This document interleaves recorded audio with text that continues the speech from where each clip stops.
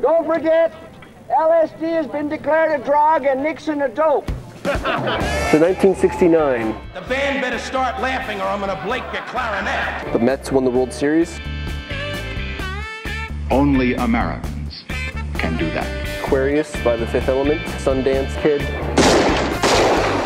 Jimi Hendrix kept missing his show date, so he woke up at 9 a.m. the last day and played for two hours.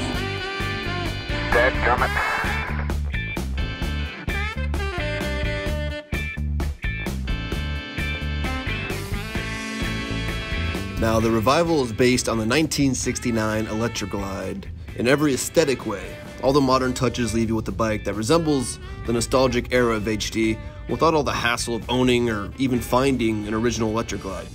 However, at Barracuda, this bike was gone before it hit the showroom floor, and I was only able to video the PDI at Black Widow with the new owner's permission, so it's not going to be an easy bike to find. And even perusing some of the HD forums, new owners are telling stories on just how fast they had to purchase to make sure that they got the bike. And I had a spiel about what this means for Harley Davidson and the future models, but everyone was coming up to the bike and looking at it, and it was so broken up, I'm just gonna do it here.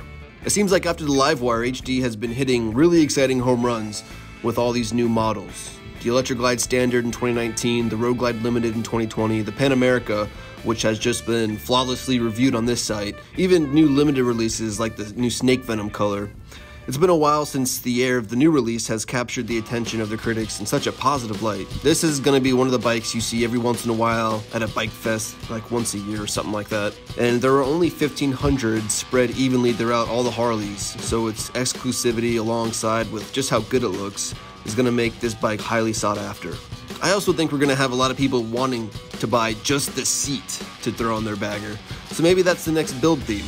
Big wheel baggers to fat tire baggers to the throwback bagger. Instead of seeing rows of lowered baggers with 28 inch front tires, you see builders making modern bikes look like their forefathers from previous decades. Bikes that some of us were around to ride and some of us saw our dads riding. Bikes we saw Elvis and Evel Knievel riding with all the modern technologies Harley has produced. That's all I got for you guys today. I'll see you next time.